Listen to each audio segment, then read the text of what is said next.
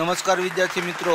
મુદ્રાલેખ digital એજ્યુકેશનમાં આપનું હાર્દિક સ્વાગત છે. મિત્રો, આપણે ધોરણ બારની અંદર વિષય એસપી ભાગ બે એટલે કે સેક્રેટરિયલ પ્રેક્ટિસ ભાગ બેની અંદર અભ્યાસ કરી રહ્યા છીએ. મિત્રો, આજે આપણે આ વીડિયો લેક્ચરની અંદર પ્રકરણ છ કંપનીની સભાઓની અંદર આપણે આજે નવો પ્રશ્ન, આગળના પ્રશ્નની અંદર આપણે સભા નોટિસની વિગતવાર ચર્ચા કરી હતી. તો મિત્રો, અહીંયા આપણે પ્રશ્ન, સભા કાર્યસૂચિનો અર્થ આપી આ સભાનો કાર્યસૂચિના હેતુઓ અને આ સભા કાર્યસૂચિઓનું મહત્વ અથવા તો સભા કાર્યસૂચિની અગત્યતા જોવાના છીએ. તો પહેલાં આપણે જોઈએ કે સભા કાર્યસૂચિ એટલે હું. તો કે કંપનીની સભામાં જે કાર્યો કરવાના હોય, ક્યાં કંપનીની સભામાં જે કાર્યો કરવાના હોય, તે કાર્યોની યાદીને કાર્યસૂચિ તરીકે ઓળખવામાં આવે છે. કાર્યસૂચિ એ સભાના કાર્યોનો ક્રમ દર્શાવે છે કે ભાઈ પહેલું કામ, પછી બીજું કામ, પછી ત્રીજું કામ.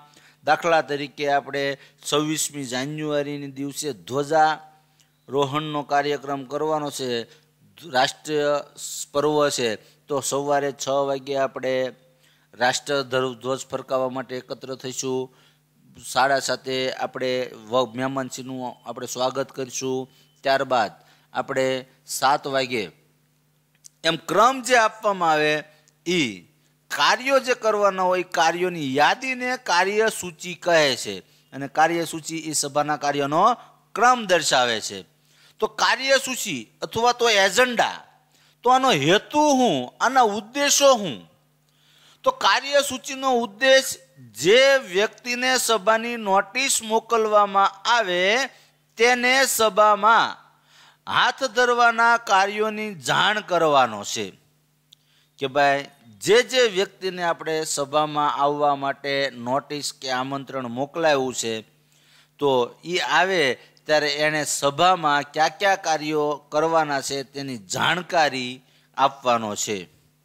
જેથી દરેક કાર્ય અંગે વિચારણા કરી શકે અને સભામાં તે અંગે જો આવનાર વ્યક્તિને કોઈ પ્રશ્ન પૂછવો હોય, તો તે પોતાનો અભિપ્રાય અંગે વિચારી શકે કે મારે આ સભાની અંદર કઈ પ્રકારની કામગીરી કે કઈ પ્રકારનો પ્રશ્ન મારે પૂછવાનો છે. જો મત આપવાનો, તો એ મત આપવાનો છે, તો એ મત આપવાનો એ નક્કી કરી શકે છે. કાર્યસૂચિને કારણે સભાની કાર્યવાહી સરળ રીતે ચાલી શકે. દરેક કાર્ય ક્રમવાર હાથ ઉપર લેવાય તેમજ કોઈ કાર્ય કરવાનું રહી ન જાય અને કોઈ કાર્યનું પુનરાવર્તન ન થાય. કાર્યસૂચિની અગત્યતા અથવા તો એનો મહત્વ. કે ભાઈ આ કાર્યસૂચિનું મહત્વ શું છે? કાર્યસૂચિની આ એજન્ડાની અગત્યતા શું છે?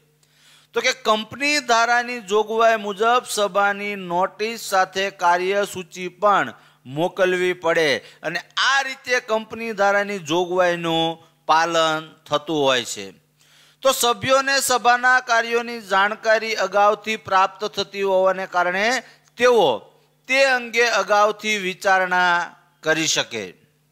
ત્યારબાદ કાર્યસૂચિ પ્રમાણે સભાના કાર્યો હાથ ધરી શકાય. ત્યારબાદ કાર્યસૂચિને કારણે ક્રમશઃ કાર્યો કરવામાં સરળતા રહે અને એકબીજા સાથે જોડાયેલા કાર્યોને સંકલિત કરી શકાય, એટલે કે સાંકળી શકાય. કાર્યસૂચિને કારણે સભાના કામકાજનો નિકાલ કરવામાં સરળતા રહે. કાર્યસૂચિને કારણે કોઈ મહત્વનું કાર્ય કરવાનું રહી જતું નથી અથવા તો કોઈ કાર્ય બેવડાતું નથી. સભા દરમિયાન ચેરમેન શ્રી અને સેક્રેટરી કાર્યસૂચિ ઉપર પોતાની નોંધ રાખે છે. ટૂંકમાં એમ કહી શકાય કે કાર્યસૂચિને કારણે સભાનું કામકાજ વ્યવસ્થિત, પદ્ધતિસર અને ઝડપથી થઈ શકે. આ એની અગત્યતા અથવા તો આ એનું મહત્વ રહેલું છે. મિત્રો, તમે જેના માધ્યમથી એજ્યુકેશન મેળવી રહ્યા છો, તેવી અમારી ચેનલ મુદ્રાલેખ ડિજિટલ એજ્યુકેશનને સબસ્ક્રાઇબ કરો, લાઇક કરો અને વધુને વધુ શેર કરો. આ ઉપરાંત અમારા ડિજિટલ એજ્યુકેશનના માધ્યમોનો પરિચય કરાવું. તો પ્લે સ્ટોરમાં અગિયાર બાર કોમર્સ ગુરુ નામે એપ્લિકેશન છે. આ ઉપરાંત એફબી અને ઇન્સ્ટામાં પણ મુદ્રાલેખ ડિજિટલ એજ્યુકેશન નામે પેજ ચાલે છે. Thank you come again best of luck